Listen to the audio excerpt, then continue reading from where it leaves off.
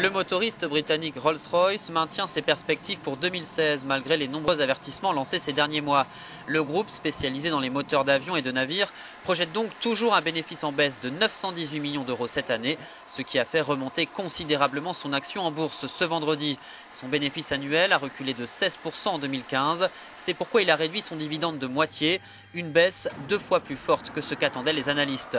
Rolls-Royce a publié un bénéfice imposable de 1,36 milliard de livres en 2015, 2015, conforme au consensus.